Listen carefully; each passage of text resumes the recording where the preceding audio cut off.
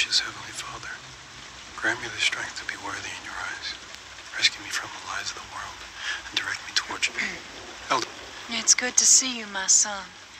Come, I have good news. This morning, four of our congregation left the safety of the walls. They were to gather firewood near Enderby Forest. Sadly, only three returned. how is that possible? How did they lose one of our own?